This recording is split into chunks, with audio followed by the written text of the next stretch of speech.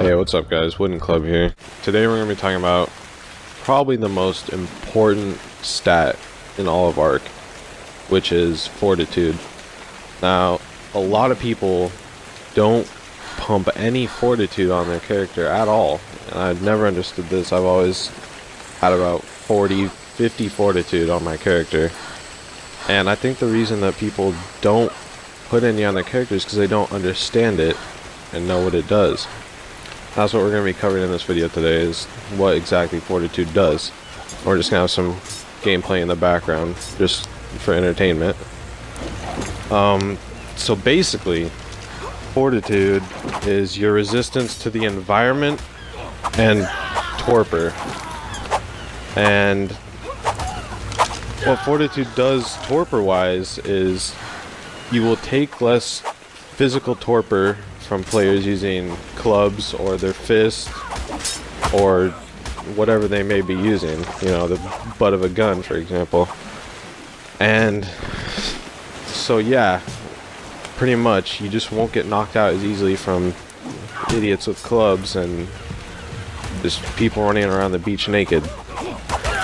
And another thing Fortitude does for you is if you ever get knocked out, like say you trade with someone, right? You knock him out, he knocks you out, and uh, yeah, basically that's it.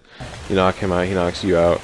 You're gonna wake up first if you have higher fortitude, because it makes your torpor drain faster, and this will also help you get out of cages and whatnot, because you'll be able to wake up and just, you know, you'll either drain all their narcotics or you'll just wake up without them even knowing. You'll just make a run for it.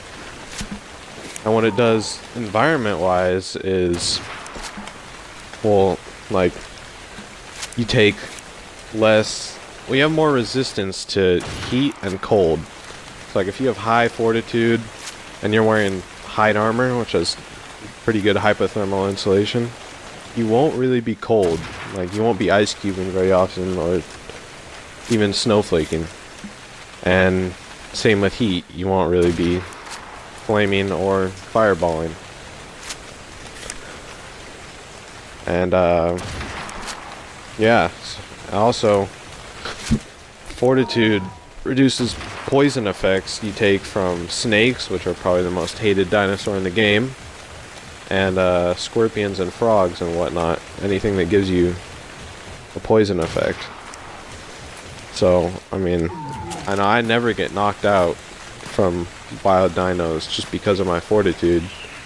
Even if I'm naked, I can I can get bit by a snake, stung by a scorpion, licked by a frog, and I'll be fine. So, yeah, that's pretty much what I wanted to cover in today's video. So, uh, talk to you guys later, and peace out.